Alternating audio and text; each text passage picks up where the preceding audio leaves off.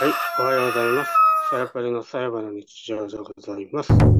えー、っとですね、今日もちょっと寒いですけど、えー、そろそろもう1月が、えー、終わってしまいますね。最後の、えー、土曜日でございます。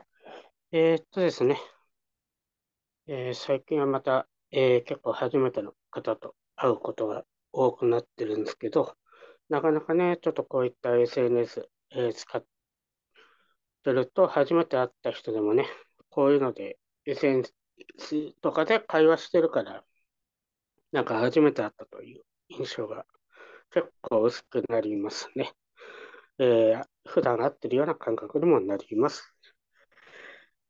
まあ、昔はね、ちょっとそういうのなかったんでね、あのー、結構、いろいろ話しにくいっていうのもあったんですけど、ある程度ね、少しでも情報を知ってると、なんかそういう話す、きっかけにもなりますね。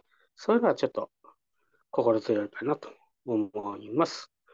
まあ、また今月もね、今年もね、いろんな人と出会う機会あるでしょうから、その辺をちょっと頑張っていきたいと思います。はい、今日も元気にさようなら。